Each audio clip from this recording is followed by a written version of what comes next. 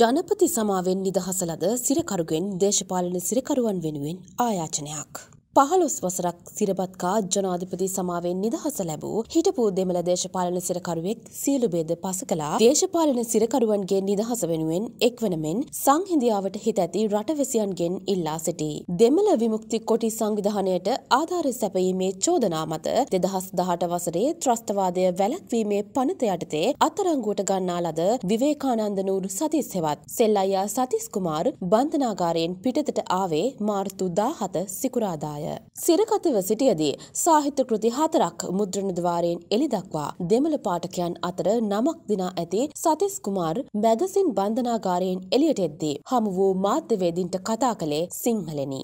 අධිකරු ජනාධිපති රනිල් වික්‍රමසිංහ මැතිතුමා මා ඇතුල් තව තුන්දනයිට ජනාධිපති පොදු සමාව දුන්නා.